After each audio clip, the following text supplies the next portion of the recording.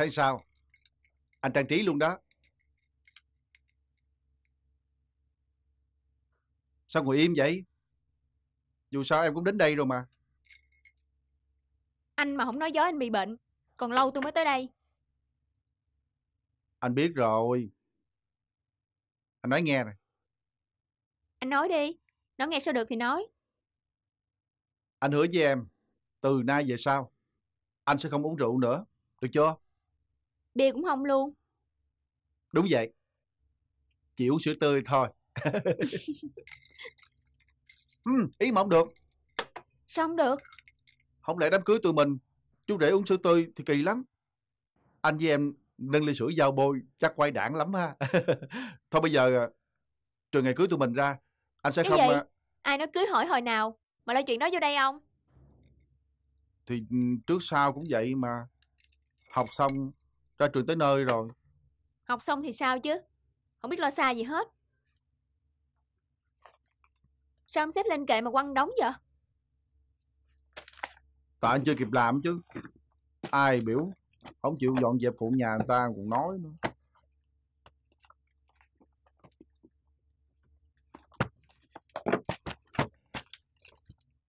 Đó thấy chưa? Chỉ cố chăm chỉ một chút.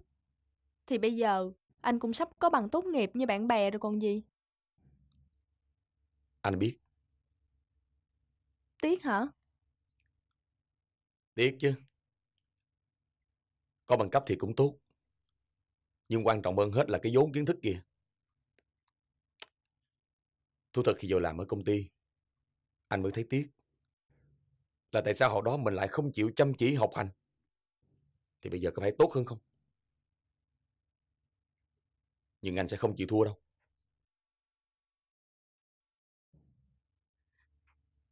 Em xin lỗi. Có chuyện gì mà xin lỗi? Lẽ ra anh phải được làm cha rồi mới đúng. Là sao? Sao em lại nhắc đến chuyện này làm gì?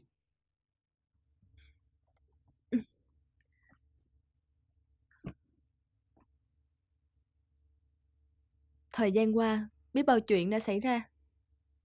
Chuyện của em, chuyện gia đình, rồi ngay cả chuyện bé Nga nữa. Em thấy anh thật sự đã chững chạc, bản lĩnh hơn rất nhiều.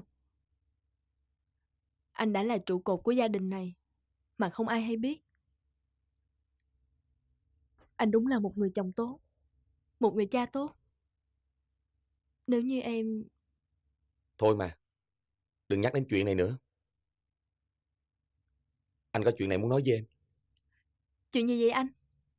Anh sẽ đi học lại. Học lại. Ừ. Nhưng không phải đến trường. Là sao? Anh sẽ có cách học của riêng mình. Rồi em sẽ thấy. Ngủ đi em.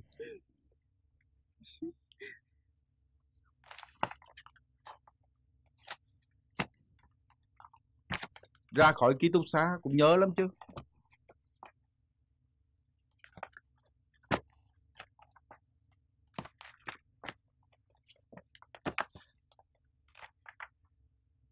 Nhìn gì? Ừ, Em biết chuyện gì không? Chuyện gì là chuyện gì? Thằng Tuấn dọn ra ở chung với con Trang rồi đó. Vậy à? Em thấy sao? Sao là sao? Thì đó, chuyện Trang với Tuấn ở chung, em thấy sao? Bình thường. Người ta thương nhau, người ta ở chung với nhau, có sao đâu. Đúng rồi. Thanh à, hay là em dọn ra ở chung với anh nha. Gì? Không có đâu, tự nhiên ở chung lần sao? Nghĩ sao mà nói vậy vậy? Thì anh nghĩ giống như em mà. Yêu thương nhau, ở chung với nhau là chuyện bình thường mà. Ừ, thì... ờ, Người ta thì không sao. Còn tôi danh thì không có được. Tại sao là không được? Thì em cũng vừa mới nói đó. Tụi nó ở chung với nhau là chuyện bình thường mà. Thì tôi nói bình thường. Còn tôi với anh thì... Thì sao? Thì không bình thường. Không hỏi lung tung nữa tôi đi về.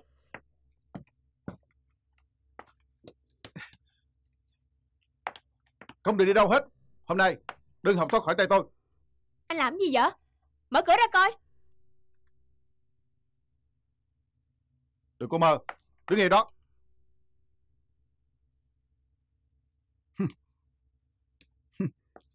Ai da ai da. Anh chỉ dân cho một chút.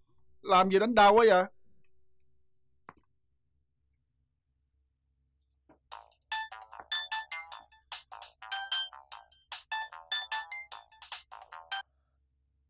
alo chuyện gì hả? Tao Kiên nè, chuyện chuyện gì? Làm gì quậu với mày? quạo gì quạo mày? Hèn chi? Nhìn mặt mày tao tưởng mày nhức răng chứ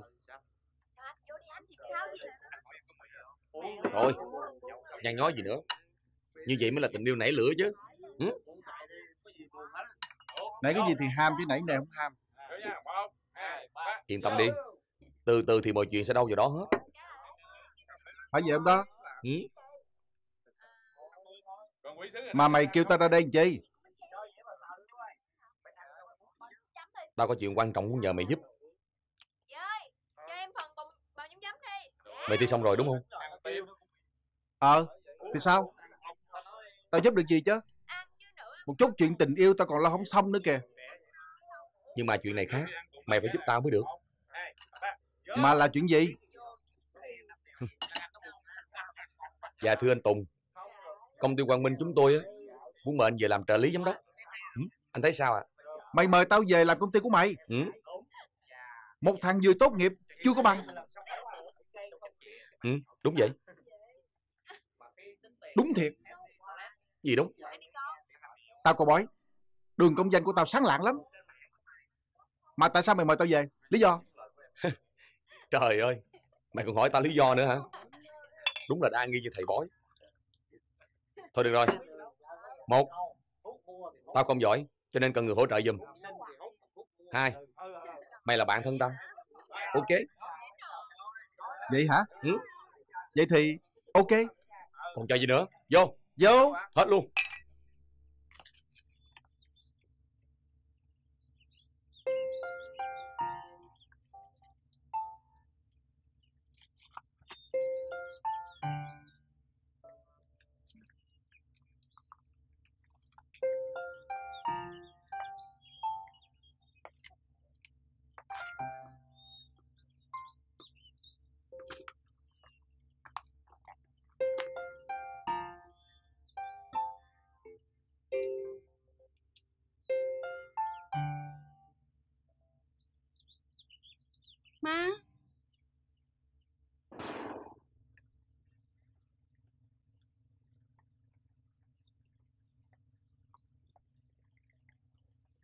5 triệu nợ mà trễ gì cô?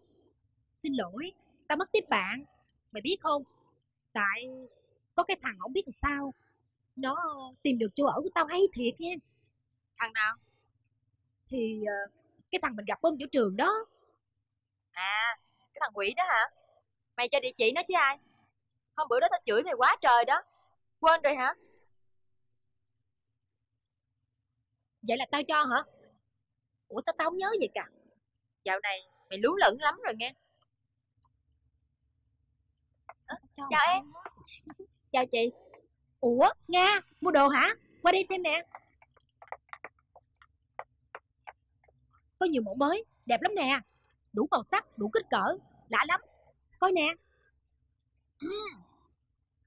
Thôi nín đi cô Lộn tiệm rồi đó Sao? Nghe tôi giới thiệu nè Đây là chủ nhân mới của shop đó là sao? Là hai chị em đã hùng vốn, Được ba bữa nay rồi Vậy hả? Vậy thì hay quá. Từ nay mấy chị em mình làm chung. Vui quá ha. Thôi đủ rồi, Coi hàng đi Chị em tôi ra đây một chút Chị em mình ra đây một lát, Có người coi hàng rồi, khỏi lo Chào chị, Bye đi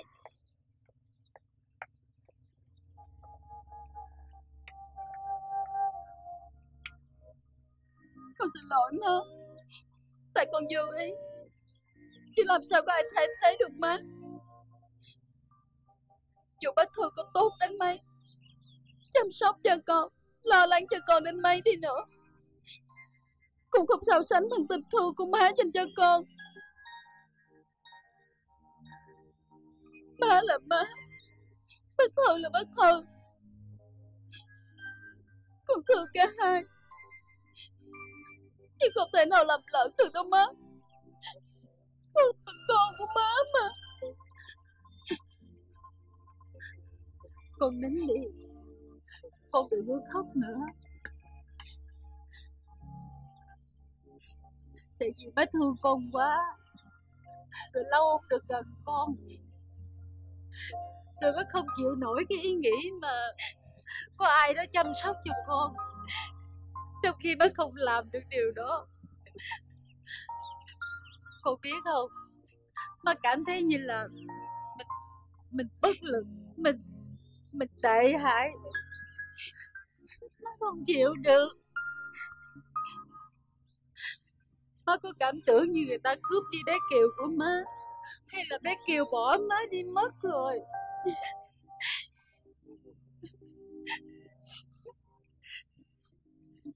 Tính ra má còn có trí tưởng tượng hơn dĩ nhiên nữa. Hay quá Chọc má đi rồi Chiều má bỏ đói không cho ăn vô bồi Thôi mà. Nói thì thì nói chứ con thèm ăn canh má nấu lắm rồi đó. Thiệt không? dạ mày. Bà Kiều nè. Dạ. Chỉ khi nào con lấy chồng Một người chồng thiệt là tốt thì quả mai ra Người ta mới thương con hơn là má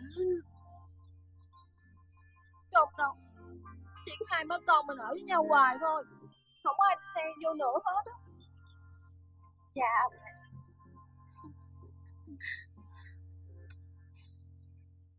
Thank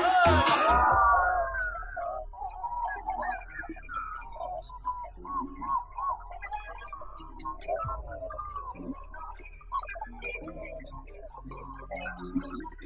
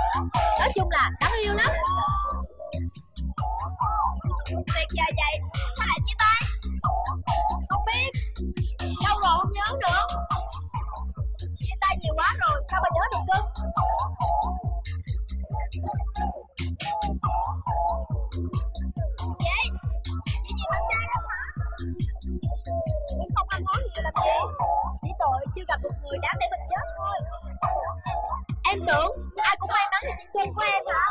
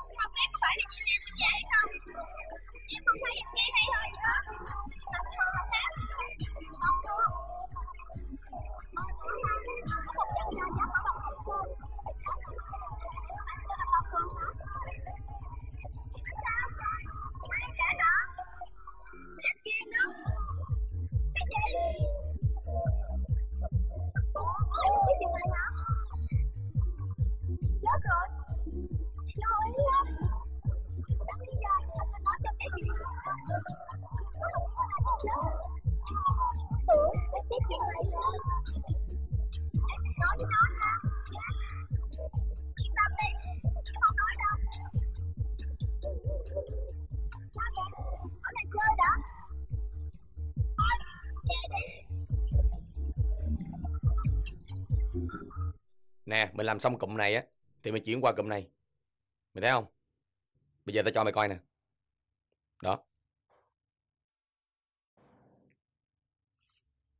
đúng rồi đó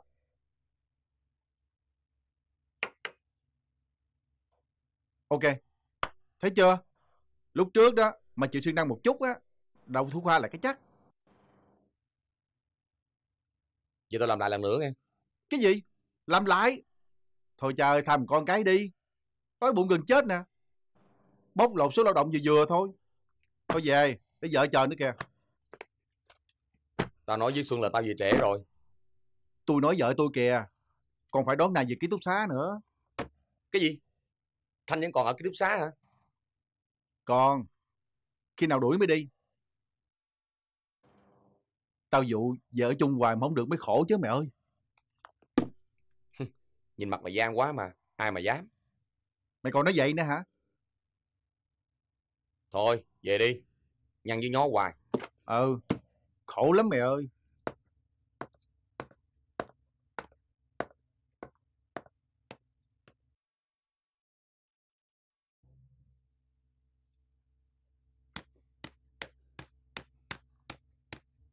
Bỏ mấy tỷ cho người ta thì không sao còn con xin một chút tiền làm ăn. Nó hoài không cho là sao má? Suy đi nghĩ lại thấy mà tức. Lúc nào cũng làm bộ hiền lành, Ngoan ngoãn. Ừ Lấy mấy tỷ của người ta mà Không ngoan sao được? Có nghe đâu là có đó, Mà không ngờ đến nhanh như vậy. Mà tại sao lúc đó mấy im lặng vậy hả má? Má phải có ý kiến chứ. Ý kiến làm gì? Nội con quyết định hết. Nữa? Lại cũng là nội nữa. Tại sao cái gì nội cũng quyết hết vậy? Vô lý. Bao nhiêu người trẻ tuổi không quyết? Lại để nội quyết là sao? Nhưng mà tại sao má không nói cho con nghe ngay lúc đó? Con quậy tưng lên luôn. Đó, là vậy đó. Cái gì cũng ào ào. Mày tưởng mày là ai mà mày quậy hả? Nhưng là tiền của mình mà. Tiền nào là tiền của mình? Tới bây giờ cũng chưa chịu hiểu ra. Mày tưởng ba mày ngon lắm hả? Không bằng cái gót chân của con út Minh. Để con em nắm đầu. Nói thật, ba mày chỉ là con chó, coi nhà giữ củi cho nó mà thôi. Ngay cái căn nhà này cũng để cho nó đứng tên. Thiệt là tức cười. Má nói sao Là vậy đó. Khôn hồn thì lo tu tỉnh mà lo làm ăn, kiếm số vốn phòng thân. Suốt ngày lo chơi đi, rồi ra đường mà ở. Không lẽ Cô Út Thấy hiền lành chứ gì? Má chịu thua sao Thua chứ sao con?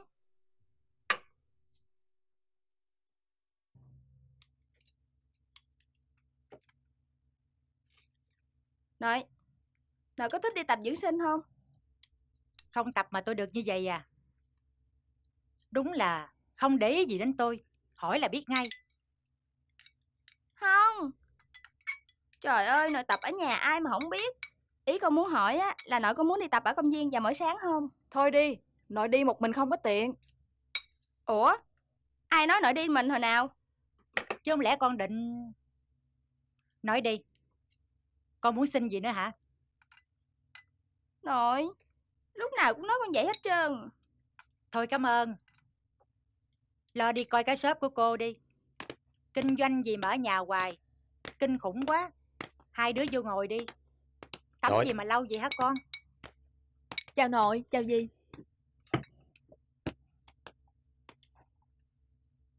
Rồi thấy sao? Bữa nay nội tập ở công viên, nội thấy vui không?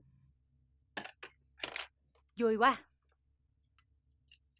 Tập dưỡng sinh ở công viên thiệt là vui á. Hai đứa nhớ đưa nội đi thường nha. Cái vụ đó con không hứa đâu nghe. Sao vậy? Ảnh lười lắm nội ơi. Nội đừng lo, con sẽ đi với nội. Ờ, được à. Thiệt đáng đồng tiền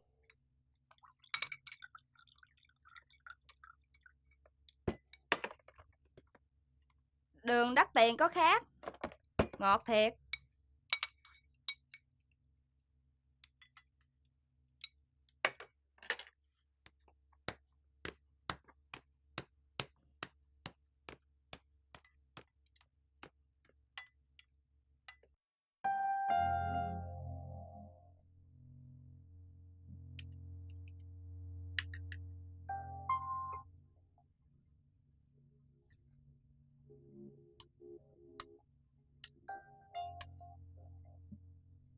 Vậy thôi, dậy đi ăn sáng.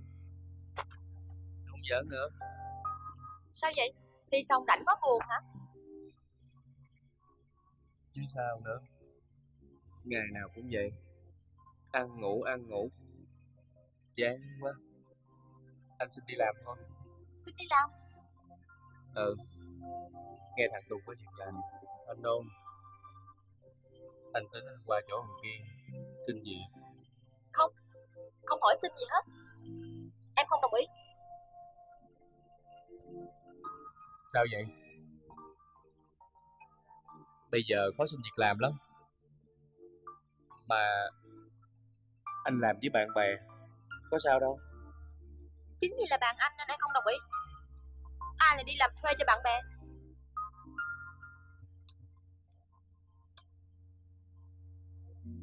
Anh thấy không có gì phải tự ái cả. Anh không, nhưng mà em thì có. Chứ ở nhà nhiều hoài để em nuôi là tự trọng hơn.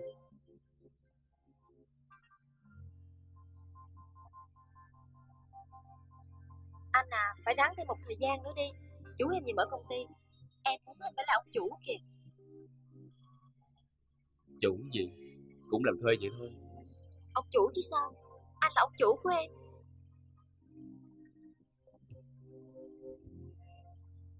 Không mà Chắc không?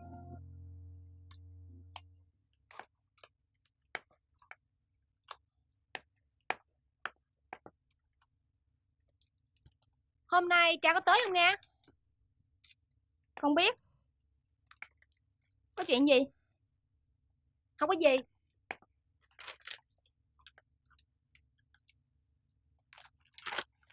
Lau nhà đi. Bụi quá à.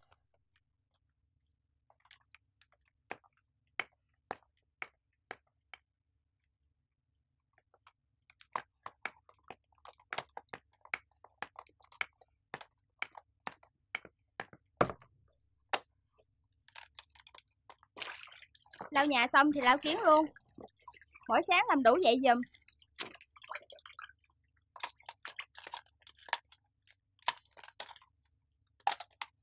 Cái này mớ mặt đến hả?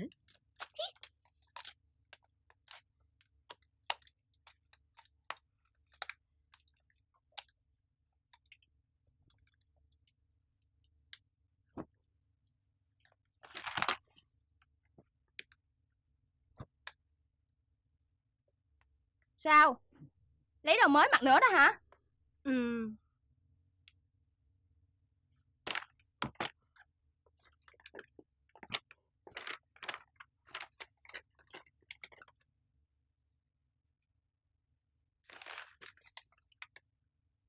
Mày thấy sao?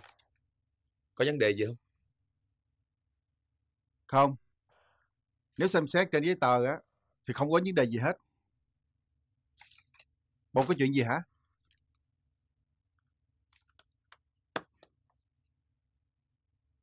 Tao cũng không muốn giấu mày làm gì. Nhưng nói ra thì chẳng có hay ho gì hết. Thực sự làm già tao không có đi du lịch chữa bệnh. Cho ông đi đâu? Ông bỏ trốn theo con bồ nhí rồi. Hả? Ba mày? Là con thư ký riêng của ông. Lại là bạn của Nga mới ghê chứ. Ba mày cũng dữ dội ghê á. Người ta nói á, con nhà Tông không giống lông cũng giống cánh. Vậy mày có giống ổng cái khoản đó không vậy? Không biết chừng. Mà nè, có mặt Xuân. Đừng có nói giống này giống nọ nghe mày. Sợ cái gì? Không phải. Mất công ghen tội nghiệp thôi. Vậy là cái vụ kêu tao vô làm lấy của nàng phải không? Sợ mày bị cô nào bắt ăn thịt chứ gì? Không phải. mà nghĩ lại thấy Xuân khờ khạo thiệt. Để tao với mày còn nguy hiểm hơn nhiều. Còn khóa trái cửa lại nữa chứ.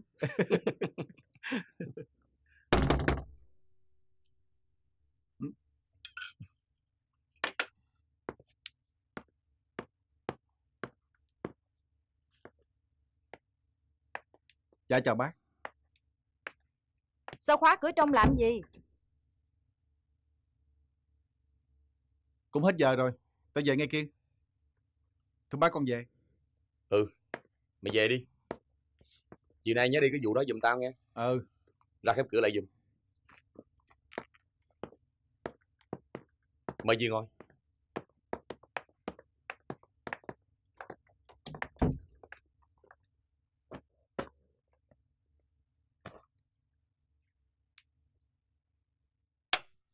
Xong, như vậy thì mới an toàn. Điện đốm là không có dẫn chơi được đâu nghe con. Dạ Con cảm ơn chú Tư Ừ, Mời chú Tư nước chanh à cha. Nghệ sĩ mà cũng pha nước chanh đồ nữa ha. Chú Con Tài cũng đâu có tệ dữ à Kiều, con đi về thăm má con như vậy là đúng lắm đó. Chú Con hỏi chú cái này Mà chú đừng có la con nha Hỏi đi. Ừm, Tại sao ờ, chú không cho con lên đây mình Mà dẫn con lên vậy Tưởng gì? Vậy mà cũng hỏi nữa. Thì tại chú thấy con sách đồ nhiều, nên chú đi theo. Để rinh phụ vậy thôi. Trời ơi, Không phải chứ sao? Chú lên thành phố Vì một vì một lý do khác Đúng không Chú đừng có giấu con Ủa?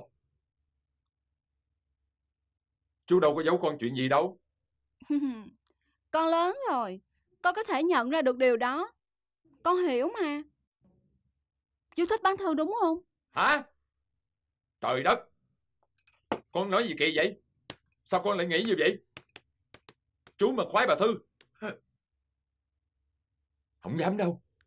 Chú, có gì đâu mà ngại. Mà công nhận nha, chú tình ý thiệt á.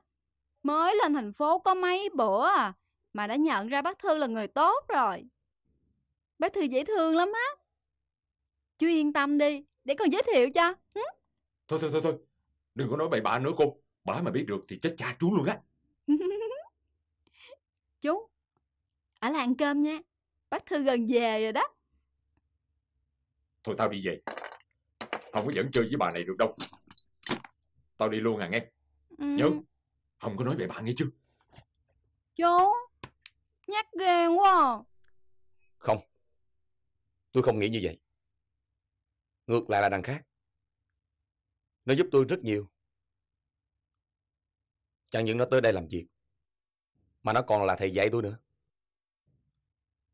Tôi muốn tranh thủ học lại thật nhanh những gì mình đã bỏ qua. Làm sao mà không tin nó được? Nó còn là bạn của tôi nữa mà. Phải tin nhau thì mới làm việc được. Vậy sao con không tin gì? Tại sao dì lại nói vậy? Con đã thay ổ khóa. Vậy à? dì nghĩ vậy à? Biết nói với dì như thế nào? Thực sự là con không có ý đó. Nhưng nếu dì thấy con làm vậy là sai thì... Không, quá đúng nữa là đằng khác. Con cương quyết hơn ba con nhiều. Ba con thiệt là...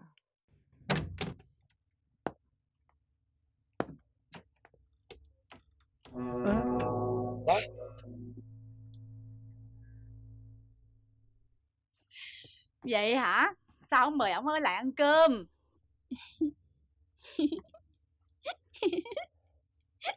Nhìn gì ạ? Cười gì ạ? Sao nãy giờ cứ ờ, nhìn bác mà cười hoài vậy? Bộ điên hả? Bác Thư, nhìn bác là con có thể đoán được á. Đoán gì? Con có thể đoán được là chắc chắn là hồi đó bác đẹp lắm phải không?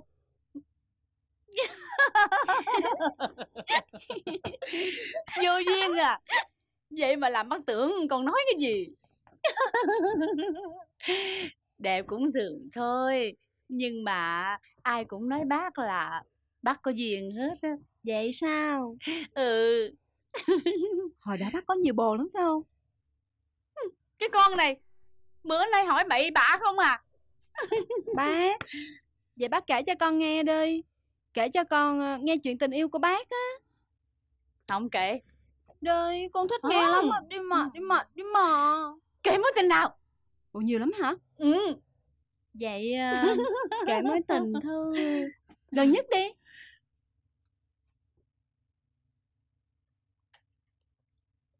Vậy là sao?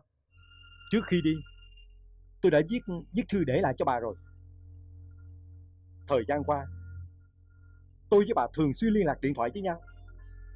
Bà nói tất cả mọi chuyện đều êm đẹp. Vậy có nghĩa là sao? Vì tôi muốn ông đi chơi cho thỏa mãn Tôi không muốn ông bận tâm tới gia đình Đây là gia đình của tôi. Bà đã lừa gạt tôi. Bà đã lừa gạt tất cả mọi người. Bà thật là đáng sợ. Gia đình của ông Ông biết điều đó từ khi nào vậy Ông có trách nhiệm không ta Trách nhiệm gì mà bỏ mặt vợ con trong suốt thời gian qua Bổn phận gì mà không hề gọi cho má mình Dù chỉ một lời Nếu ông không hư hỏng vậy Tôi làm được điều đó sao Ờ, nhưng mà tôi... Tôi có gọi điện cho bà mà.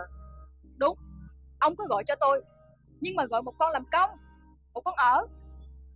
Ông tha hồ vui chơi với con Ngọc Một con bé chỉ đáng tuổi con, tuổi cháu của mình. Ông biết đó là bạn con Nga mà. Ông phản bội mẹ con tôi hết lần này đến lần khác. Tôi thù ghét ông. Tôi muốn ông phải trả giá. Tôi muốn ông phải có một bài học để nhớ đời. Nhưng tôi không ngờ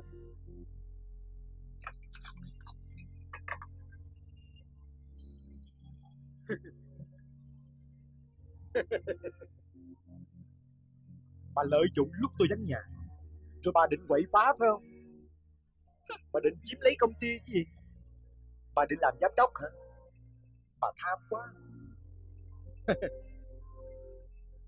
tôi tôi cũng tội nghiệp cho bà. Bà quá xem thường của Út Minh rồi. Bác cắt liền, Cho nó nóc ao luôn Quá đúng. Đàn ông như vậy là không có đáng. Bác đừng có buồn nha. Gì buồn Trời ơi Cái bọn đàn ông bác coi như cỏ rác Đừng mong mà bác đói hoài đến nghe Còn cũng vậy nghe Dạ. Nhưng mà nhiều khi mình muốn né tránh cũng đâu có được. Nhất là khi gặp một người đàn ông tốt. Con để ý ai rồi hả Dẹp Bỏ Dạ, không phải là con để ý, mà là người ta để ý. Nhưng mà cái thằng nào? Chú Tía. Trời ơi! Cái thằng cha già. Trời ơi ông điên rồi mà. Hèn gì bác thấy là Ông cứ lui tới cái nhà này Thì ra là vậy. Khốn nạn chưa? Bác Sao bác lại Lại lại cái gì? Thằng cha già đó đúng là biến thái mà. Bộ hết người dòm ngó rồi hay sao mà đi dòm con nhỏ? Cái con nhỏ mà nhỏ tuổi hơn mình như vậy Đáng tuổi con mình như vậy chứ. Đúng là bộ biến thái mà. Bác, không phải. Chú Tư á, coi con như con cháu trong nhà nhá. Bác nói vậy chú Tư nghe được giận con chết luôn á. Chứ sao hồi nãy con nói là ông để ý con Bác nghe sao vậy? Con nói chú Tư để ý á, là để ý bác á. Bác á. Bác giận con luôn Ờ, ờ. Bác Thơ, bác Thơ. Đi về Tôi không muốn thằng Kiên nó nghĩ gì khác Mọi người đang chờ ở nhà Khoan đã. Chuyện kia thì bà giải quyết như thế nào? Không Không bao giờ tôi đồng ý Bà, bà hãy suy nghĩ cho kỹ đi. Nhưng mà cũng phải suy nghĩ cho thật nhanh. Tôi muốn giải quyết cho xong tất cả mọi chuyện. Lâu nay vợ chồng sống với nhau như thế nào, bà hiểu hết rồi đó. Ông tưởng tôi ngu lắm sao Đồng ý để mẹ con tôi mất hết Để mẹ con tôi ra ngoài đường à Đừng mơ Không đời nào tôi đồng ý ký đơn ly dị. Thôi được. Tôi có cách xử lý riêng của tôi. Cái gì? Ông không định nói ra tất cả mọi việc chứ? Không ai tin ông đâu. Tất cả những tin nhắn và những cuộc điện thoại giữa tôi với bà.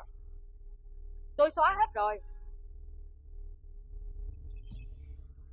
Ông Khốn nạn thật. Ông nỡ đối xử tàn nhẫn với tôi thế sao? Đừng, Đừng có nặng lời với nhau như vậy. Tôi đồng ý im lặng, Nhận hết lỗi về mình. Tôi sẽ ra đi. Bà không phải đi đâu hết. Không.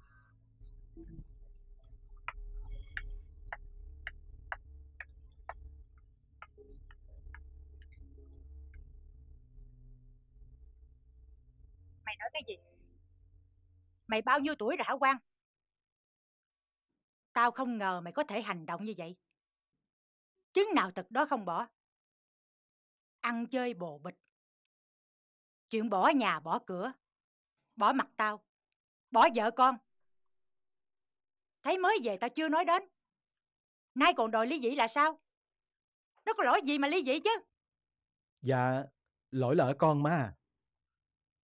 Con sai. Con... Nhưng má à, con thật lòng là muốn ly dị má à. Anh đã nói vậy.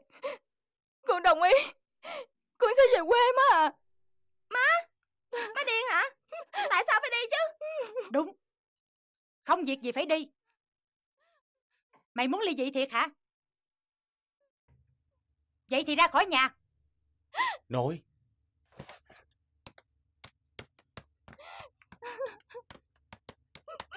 Má Không Không có chuyện gì đâu Anh Quân Chúc mừng anh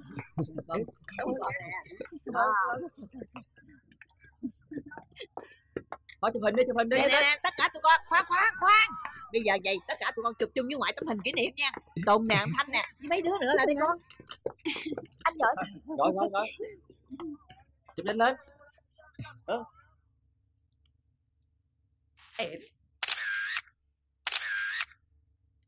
Đi, mình lên đâu.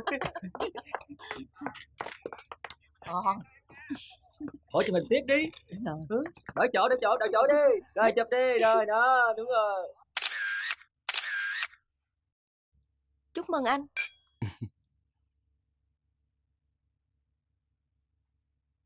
Sao anh không cho em báo tin Hay rước má lên Để chứng kiến ngày anh tốt nghiệp Anh muốn dành cho má một sự bất ngờ. Với lại, má không khỏe. Em có quà cho anh đó Chờ em chút nghe Có quà nữa hả?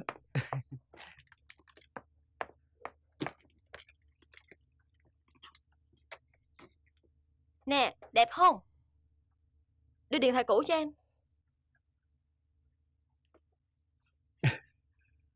Trang, anh có được như ngày hôm nay là nhờ em. Nếu không có em, có lẽ anh đã về quê lâu lắm rồi. Trang, anh yêu em nhiều lắm. Lẽ ra hôm nay anh phải có quà cho em, mà em lại có quà cho anh nữa chứ. Vậy Anh có quà cho em không Có.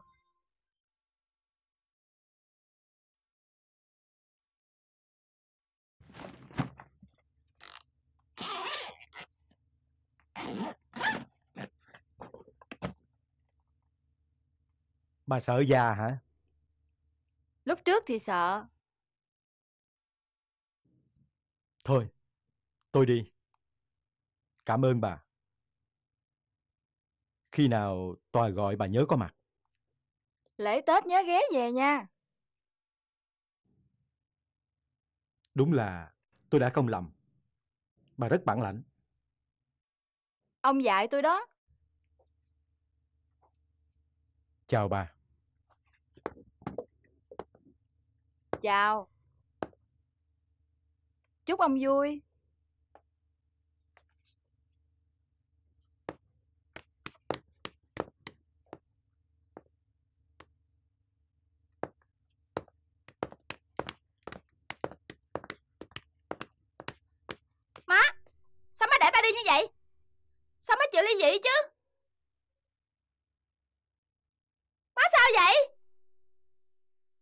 con làm gì mà rối lên vậy?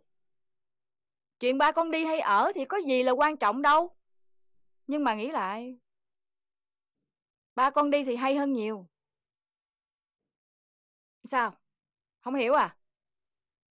Sao con còn khờ quá vậy?